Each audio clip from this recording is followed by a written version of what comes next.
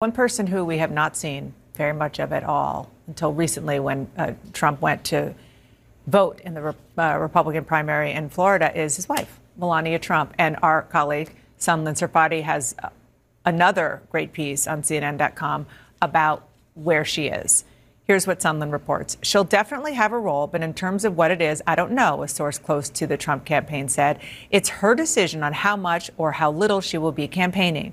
She is very selective and methodical in what she wants to do and how she presents herself. As I bring you in to talk about this, um, our team found uh, a nugget of sorts. And this is an interview that Trump did with Megyn Kelly back in September of 2023.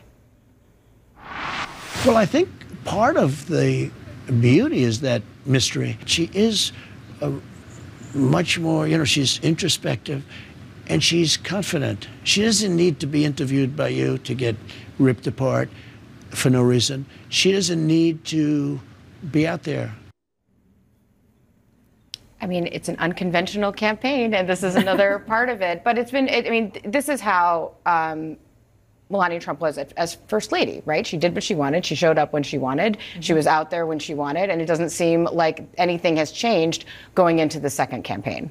And we're about to have a, a very uncomfortable um, a case from the early stages of their right. marriage, the Stormy Daniels case, which she has yes. talked privately about as being very, uh, um, you know, a very painful moment. So you have to wonder if that is part of it as well, mm. staying out of the limelight as that case goes through. But at the end of the day, I'm not sure this matters electorally if she was out campaigning yeah. or not. But you do wonder if the shoe was on the other foot, if another spouse was not out, if Michelle Obama had not been out, if Jill mm. Biden is not. I think there would be some questions here. But uh, as you said, unconventional. All right, guys, thank you.